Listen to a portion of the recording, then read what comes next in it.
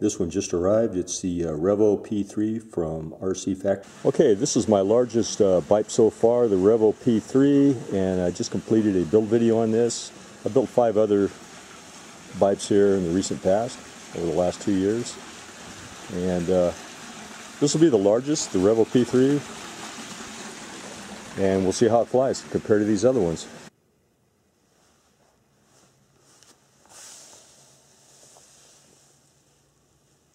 And here's the electronics I'll be using for the P3. 1250 kVt motor, 25 amp ESC Lemon RX7 receiver, Corona digital servos, and a uh, Zippy LiPo. Step one is to put the uh, 1.5 millimeter rods, these two right here, in the uh, fuselage along the side, full length. Just push that down into the groove, full length on both sides. And I'll let the first side soak in a little bit before I flip it over and do the uh, opposite side. Next we take the 3 by 5 by 100 millimeter carbon fiber flat stock and that happens to be in the bag here. Here and here and push them down in there and apply CA. Next we take the 3 by 5 by 250 millimeter, push it down into the elevator and we add a little bit of CA. Next we take both wings and we fold the ailerons back as well as the uh, tail assembly and fold the elevator back Put some weights on there, let them set overnight, and that'll loosen up the hinges. Next we take the vertical component of the fuselage and we cut it here, here, here, and here. Split it in half. And it's cut in half now. We take the lower part of the fuselage and we cut it along in here and in here. Like that. Now we take these two wooden T's and we glue them to either side of this centerpiece here and I'm going to use goop for that. I prefer it to CA. Like this. Then we'll add glue here and here and push it all together making sure this is a nice straight line like this and make sure this upper edge right here is nice and straight. Then we take the uh, horizontal stabilizer elevator assembly and we push it right onto the horizontal component of the fuselage and we'll glue it with goop right in there. Next we cut these two side braces here and here. Then glue it on using goop. Then glue on the uh, plastic piece. Next we install the servo right there. And we cut a little slot here and here for these little wings on the servo to fit into. And it's secured with goop, which works a lot better than CA because if you ever need to replace the servo, it's a whole lot easier to get it out. Then we put the uh, fuselage pieces together like this then we glue it. I'm going to use goop on the uh, flat areas, CA on these uh, tabs where they poke through. Next is the uh, side brace pieces on either side. This one will glue on. So the side pieces are uh, pinned in on either side and we're going to glue it with CA except for about 150 millimeters on the left side. And on the right side we'll go ahead and uh, glue it full length. We install the uh, second servo here and we fish the wire underneath this piece and pull it through.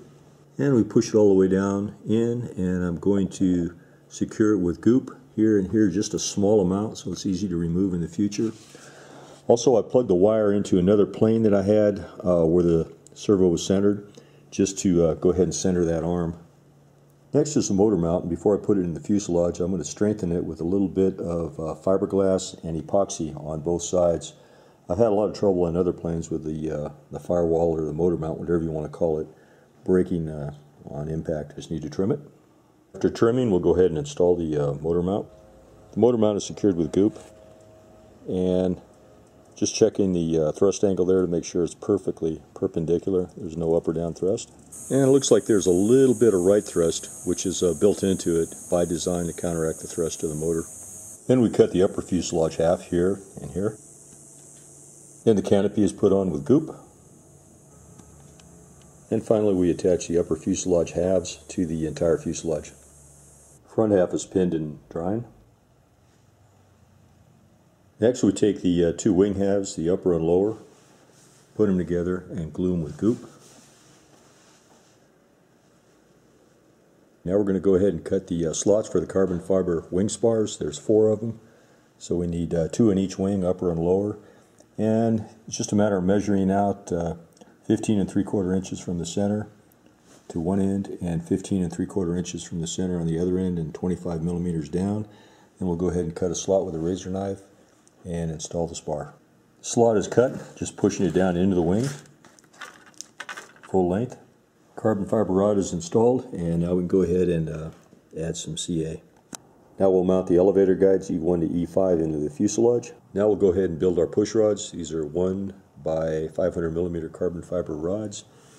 We'll go ahead and CA the uh, ends to the uh, rods.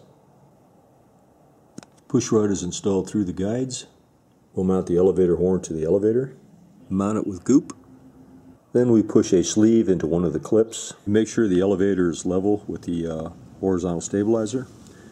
And the clip is mounted. You just need to cut the uh, push rod. So I'll cut it right about there. The elevator push rod is secured with CA. We're going to go ahead and mount the uh, aileron servos next. We have to make a little cutout on each servo uh, cutout here for these little wings on here. Aileron servos are mounted. Now we need to cut a little groove for the wires and embed the wires down into the foam right along in here to the center from either side. And we just push the wire down into the uh, slot like that. The servos are installed, the wires are embedded, and I went ahead and bound the receiver just so I could center the arms on the aileron servos here. And I'll probably wait uh, until later before I actually put a little goop in there to secure them. Next we need to install the aileron horn, and we just put a straight edge from the uh, arm on the servo to this little notch right over here. And I just drew a little line there. That's where this is going to go. So now I'm going to go ahead and cut that slot for the uh, aileron horn. And I'll do the same on the other one. Okay, both horns are in and I'll glue them later. Most important thing is that the hole right there in the horn is directly over the hinge line. That's very critical. Otherwise you're going to get uneven movement up and down. We'll go ahead and add our slave horns. I just need to cut a notch right here, 22 millimeters in and in line with the aileron horn. Slave horns are installed. I'll glue them later. We're going to make our aileron push rods using these two bolts. We need to cut the head off of these two bolts first. I'm going to go ahead and cut this. I put a little nut on there just so that I can uh, screw that off the end to make sure that it doesn't damage the threads. There's our first one. And there it is. We'll go ahead and do the same with the other bolt. And the aileron push rods are installed.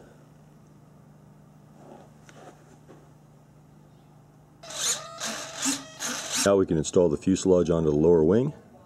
Okay, the wing is on, it's secured with goop, and I've got it pinned until the goop sets up. That's important to make sure that the wing is perfectly parallel with the uh, horizontal stabilizer. Now we'll do the wing struts. We use uh, 200 millimeter flat stock carbon fiber, and we need to just cut the ends off of each of these so that they fit in these little grooves right here. And we'll glue the carbon fiber in with CA. Now we'll go ahead and install the slave horns for the upper wing. Make a little cut on either side like we did with the lower wing. And we'll glue these in later. This is a test fit of the upper wing and the struts, and everything seems to be in alignment, so I'm going to go ahead and glue it using goop. And there's a nice goop bond there. You can see how well that works, much better than CA.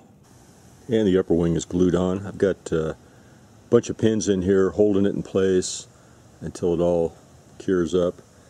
This is the most critical part of one of these things is to make sure you get the upper and lower wings in perfect alignment. Looks really good. I'm happy the way it came out. Next, we'll go ahead and build the slave rods. Just need to uh, glue these threaded pieces here on with CA. These ends are glued on and threaded to the clips. It's very important that the uh, slave rods be 195 millimeters from the center hole here to the center hole over here. So I just put a pin in there to accurately locate that hole and over here get my 195 millimeters and that's adjusted by threading this in or out until you get the, uh, the length exactly correct. Then we'll do the same with this one here and uh, I glue these pieces on at that time and should be good to go. Next we'll go ahead and install the push rod guides for the rudder. We'll just glue them into these holes right here. One, two, three, four, five. I'm going to use goop. They're all glued in and you want to kind of look down the barrel so to speak to make sure they're in perfect alignment. Next we'll install the rudder, so we have to put the hinges in. So we make a little cut on the vertical stabilizer here and another one down here to insert those hinges. Then I place the rudder on there just to see where to mark it. And here's where the hinges are. I went ahead and put a little pen marks on there. I'm going to go ahead and make my uh, slices in there for the uh, hinges. And I've just test fitted the hinges to make sure everything's good before we actually glue the hinges in.